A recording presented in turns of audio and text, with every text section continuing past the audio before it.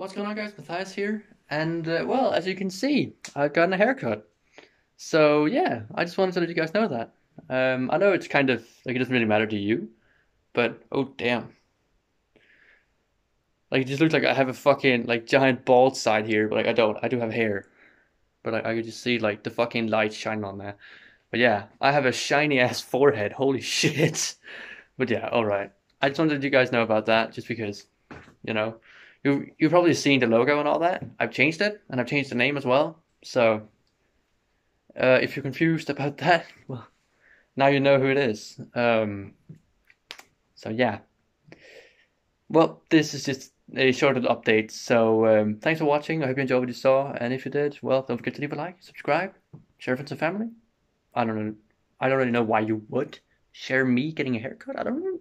I don't know. But fuck it. I'll see you all very soon. Peace.